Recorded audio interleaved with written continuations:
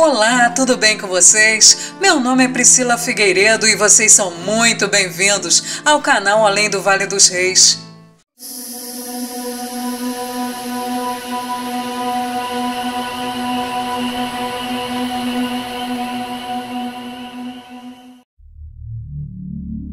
A civilização minoica, também conhecida como civilização cretense, é aquela que se desenvolveu na ilha de Creta, a maior do mar Egeu, entre os séculos 20 e 15 a.C., ou seja, ela se desenvolveu durante o período conhecido como Idade do Bronze e marca o início do agrupamento humano com o domínio dos metais e do desenvolvimento das primeiras civilizações do que conhecemos hoje por Europa.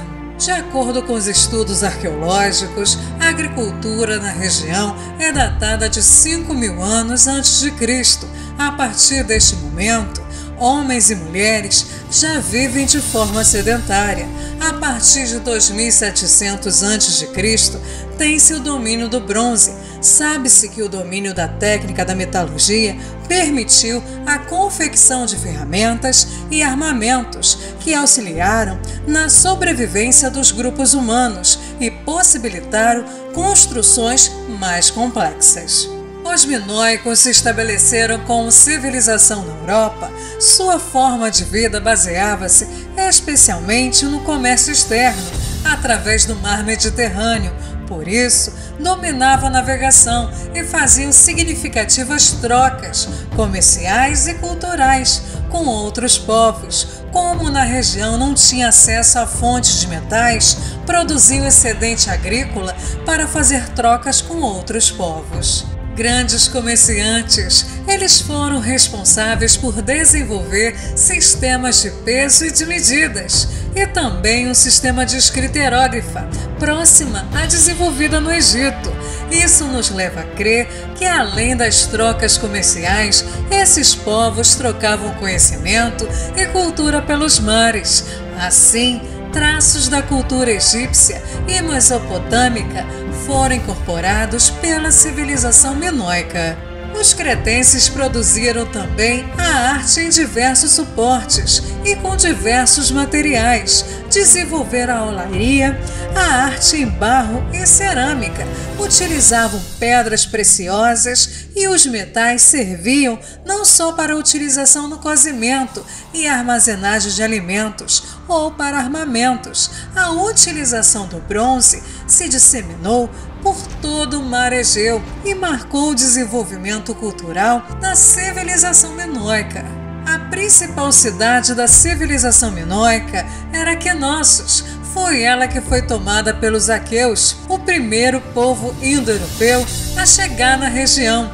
Em seu lugar foi construída a cidade de Micenas, um forte centro cultural e político da civilização micênica.